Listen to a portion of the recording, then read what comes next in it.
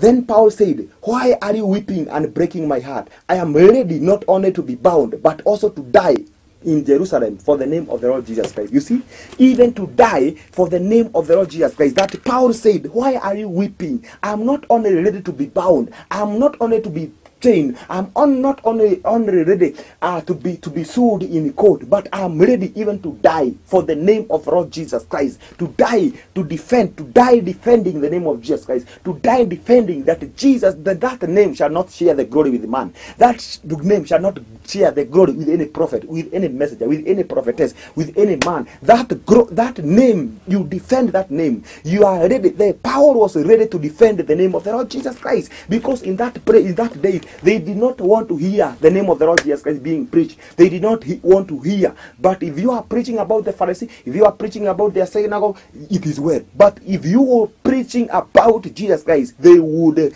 they would kill you. And so Paul was ready not only to be chained, but also to die for the name of the Lord Jesus Christ. And so Paul was a faithful witness. Also, Jesus is calling for the faithful, faithful witness in this hour. Those that will die because of the name of Jesus Christ. Those that will die because of the testimony, because of the witnessings of the name of the Lord Jesus Christ.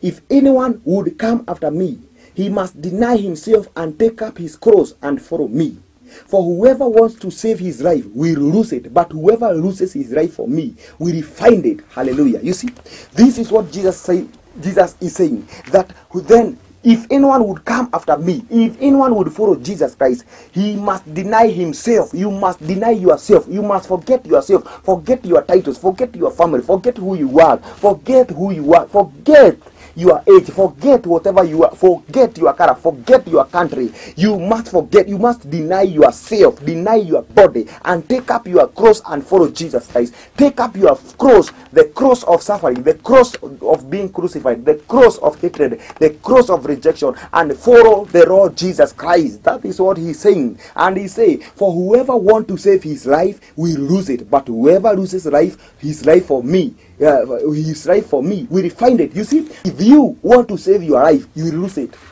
If you want to save your life, you lose it. There are people who cannot preach the gospel, there are people who cannot speak the truth because they are defending their life, because they are saving their life. They are saying that I will not speak the truth in this time because I'm saving my life, I'm saving my family, I'm saving my body. I don't want to be harmed. I don't want to be hated. I want. I don't want to be. I don't want fight. I don't want the battle. So I am. I am saving my life. So if you save your life, if you save your life, you will lose it.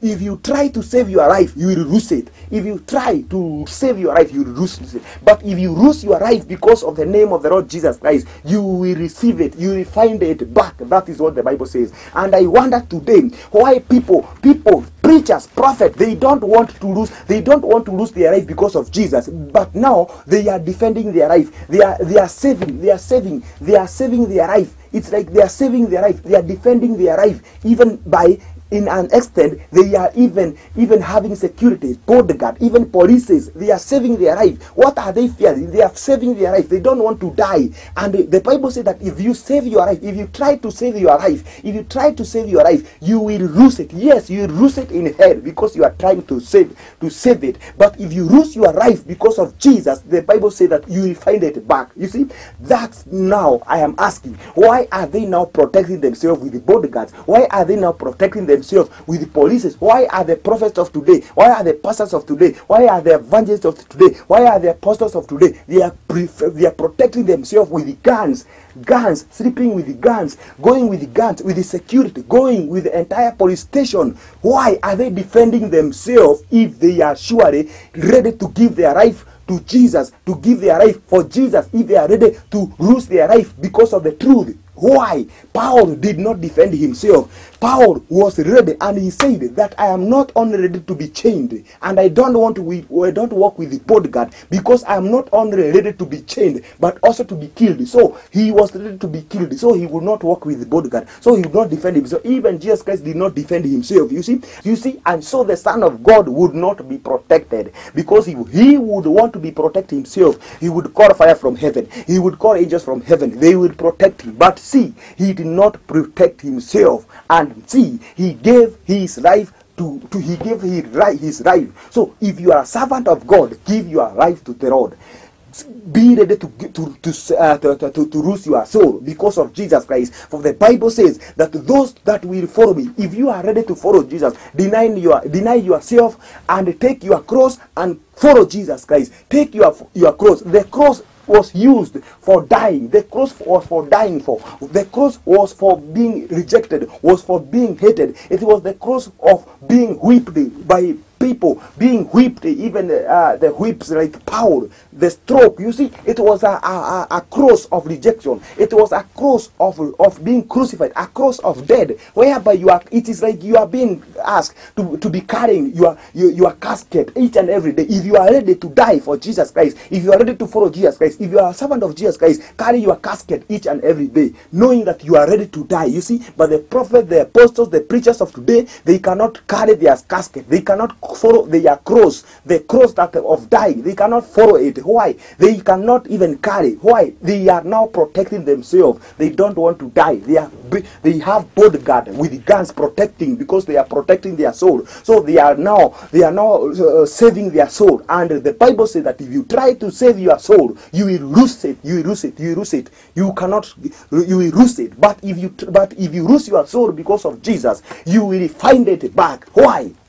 That is the gospel. Those servants of the Lord Jesus Christ, they did not walk with bold God. They did not fear. They did not fear. They preached the gospel because they were ready to be killed because of the truth. But those that you see, they protecting themselves with the bold God, they are people who are not living in truth. They are living. They are something that they are hiding. They are they they are fearing to die because they are hiding something. They are something that they are hiding. They are fearing to die because of their money, because of their riches, because of who they are. They are fearing to die because they own money, they have money, they are riches. So they are protecting their money, they are protecting their riches, they are protecting uh, uh, their, their wealthy by the protection of bodyguard and police and whatever.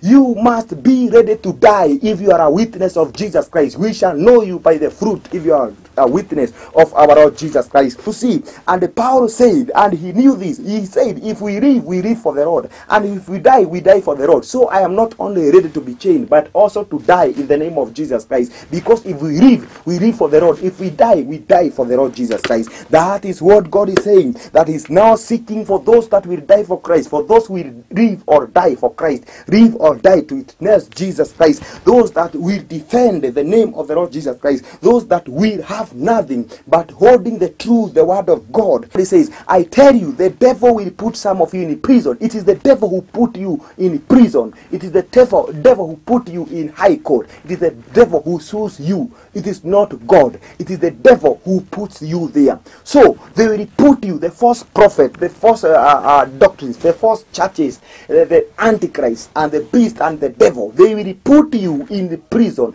They will put you in prison. They will put you in prison, and you will be persecuted. This is what God is saying. Do not be afraid of what you are about to suffer. I tell you the truth. The devil will put you in prison to test you, and and you will suffer for persecution for 10 days. Be faithful even to the point of death, and I will give you the crown of right. Here, the servants of the Lord, but that be faithful even to the point of death. Be faithful even to the point of death, and do not do not uh, compromise the truth. Do not compromise the word of God. Do not compromise the testimony that you have of the truth. Do not compromise the word of God. Do not com- compromise to be a witness of Lord Jesus Christ. To be a witness of the word of God. What the scripture say, what the rule say. Do not compromise it. The Bible says, "I will give you the crown of life." Be faithful even to the point of death. You need to be faithful even to the point of death. If you start saying the, that, go and speak it even to the court. Say it is this. This is the way. Jesus is the way.